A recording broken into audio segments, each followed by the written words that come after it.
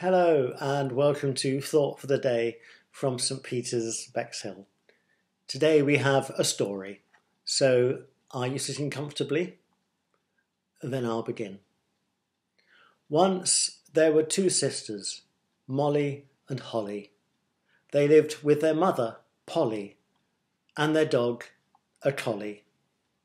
The mum, Polly, owned a doll factory called Polly's Dolly and an umbrella factory, Polly's Brolly. Mum, Polly, promised her daughters, Molly and Holly, that one day one factory would belong to Molly and the other factory would belong to Holly. Unfortunately, Holly grew impatient and asked her mum, Polly, to sell the doll factory, Polly's Dolly, so she could have the cash and go off being jolly. At this request, Polly was very sad, but still she sold the factory, Polly's dolly, and gave the money to Holly. Off went Holly and travelled around meeting new friends and being jolly.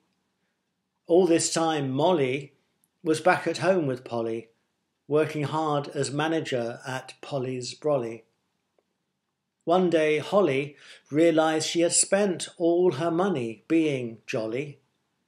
Time went on, and the hungry girl, Holly, began to think about her family, Polly, Molly, and the collie. And she wondered if she could get a job testing brollies. So she walked all the way home and said to Polly, Look, I've spent all my lolly being jolly. It was total folly, and I feel such a wally. Any chance of a job testing brollies?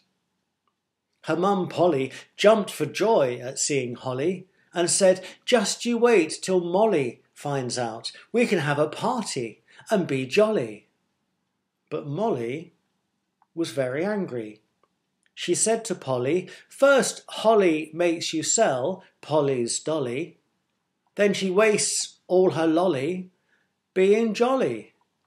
It's complete folly, and she's a complete wally. And now you want to spend even more lolly on a party. You must be off your trolley. But Polly wasn't off her trolley, and neither is God. You see, Molly and Holly needed to learn the three F's. The first is faith. God wants us to stay close, just like Polly did. But the second F is freedom. God wants us to be able to choose for ourselves how we live our lives, even if we turn our backs and go away like Holly did. And the third F is forgiveness. God will welcome us back if we are truly sorry for the mistakes we make, because God is loving and forgiving. God is always there for us and will never turn away. God is like a great mum, just like Polly. Now get ready because the story has a happy ending.